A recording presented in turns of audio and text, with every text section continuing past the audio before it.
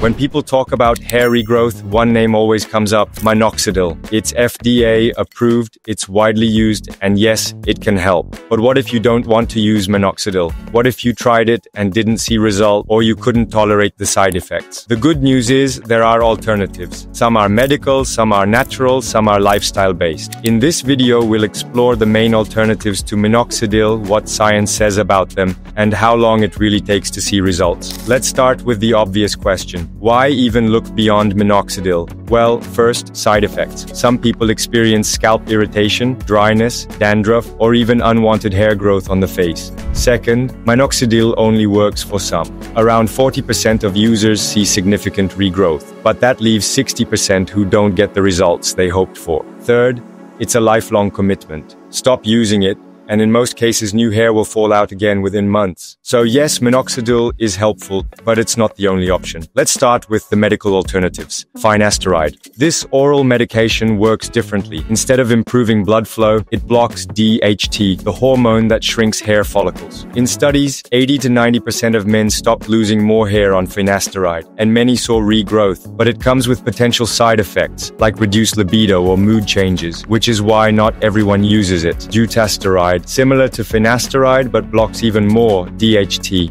It's sometimes prescribed off-label for aggressive cases, though it has a higher side effect risk. Microneedling. This involves rolling tiny needles across the scalp to trigger wound healing and improve absorption of topicals. When combined with minoxidil or natural serums, some studies show up to four times better results compared to minoxidil alone. Low-level laser therapy. Yes, the helmets you see online, they use red light to stimulate cell activity. Results are mixed, but some clinical trials show thicker hair density after 6 to 12 months of use. So medical alternatives exist, but like minoxidil, they require consistency and patience. Not everyone wants medication. Some prefer natural or lifestyle-based alternatives. Nutritional support. If you're low in iron, vitamin D, or zinc, correcting that can make a huge difference. For women especially, iron deficiency is one of the top hidden causes of hair loss. Herbal oils, rosemary oil, pumpkin seed oil, and caffeine shampoos have shown promising results in small studies. For example, a 2015 study found that rosemary oil was as effective as minoxidil after six months, but with fewer side effects. Stress and sleep. Chronic stress raises cortisol, which can trigger shedding. Poor sleep makes it worse. Managing stress and aiming for 7 to 9 hours of sleep can reduce shedding and support regrowth. Scalp care. Healthy circulation matters. Scalp massage, derma rolling, or even just proper cleansing can support better follicle activity over time. Are these as powerful as minoxidil? Usually not. But for mild cases, they can stabilize hair and improve thickness. Here's the part most people underestimate. Timing. Hair grows slowly, about 1 centimeter per month. That means with medication, you usually need 3 to 6 months to see clear improvement.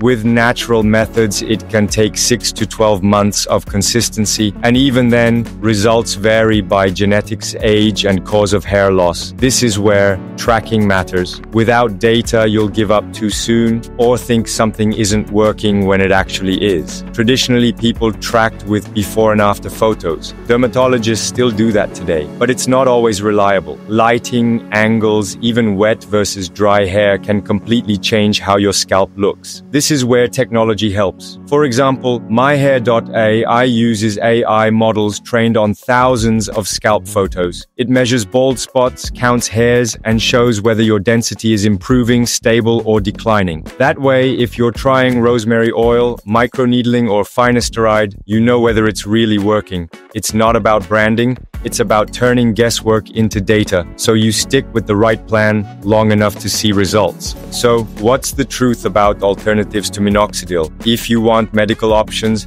finasteride, dutasteride, microneedling, and lasers are the strongest contenders. If you prefer natural, nutrition, rosemary oil, and scalp health can help, especially for mild cases. And no matter what, results take months, not weeks. The key is consistency, patience, and tracking, because hair doesn't regrow grow overnight, but with the right plan and the right data, improvement is possible. Minoxidil isn't the only path to hair regrowth. Your options are wider than you think, from advanced medicine to natural remedies to lifestyle changes. But the real secret isn't the treatment itself, it's sticking with it long enough and knowing if it's actually working. Thanks for watching. And remember, when it comes to hair, patience plus tracking equals progress.